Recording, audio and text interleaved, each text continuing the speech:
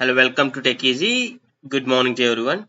Today in this video, we'll see how you can create a new folder on laptop. So this is on my Windows 11 actually. So I just created a new folder which is called test and under this I can create a new folder and that is pretty simple. Not only I'll tell you how you can create a folder but I'll also show you how you can hide that folder also so here at the left side there is an option called news here. Click on this drop down and here you can have the option like folder okay? So this is one way or you can just right click on here so that you will get this new option here also. From here also you can click on the folder. And once you click on the folder you will have the chance to name that folder.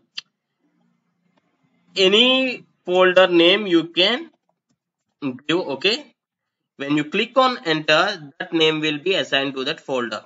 As I said, if you want to hide this folder, you can right click on this and you can click on this properties and there is an option called hidden. So this folder and the contents of this folder will be hidden from now on. When you click on this, when you go back to the test, the test folder here, open the test folder.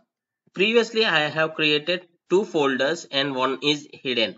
Okay if you want to know how you can unhide that or how to check back the folder what i have just hidden please do comment so that i'll do another video tutorial on that. For now this is how you can create a new folder on your laptop. This works with windows 10 also. I hope you like this tutorial and thanks for watching. Have a nice day